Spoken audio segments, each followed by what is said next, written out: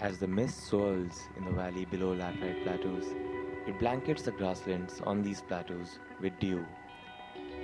The ground is covered with hundreds of dew laden webs belonging to funnel web spiders. These tiny webs are characterized by a funnel shaped enclosure in which the spiders hide.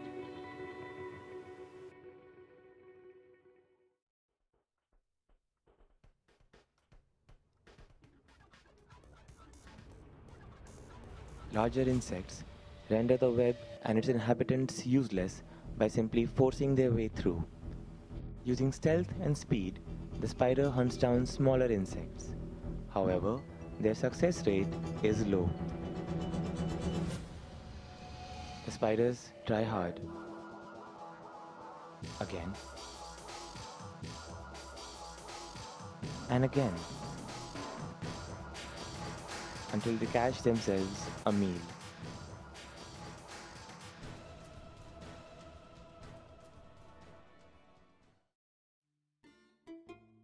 With rising temperatures, the dew evaporates and the creatures of the ground become active again.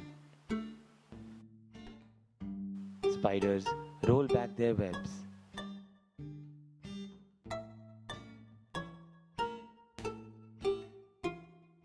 Diurnal snakes, such as this buff striped keelback, go off on a hunt.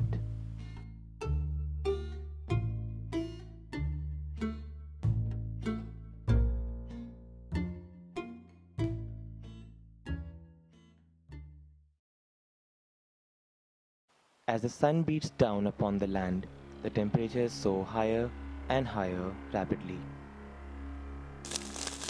The dry grass is soon aflame.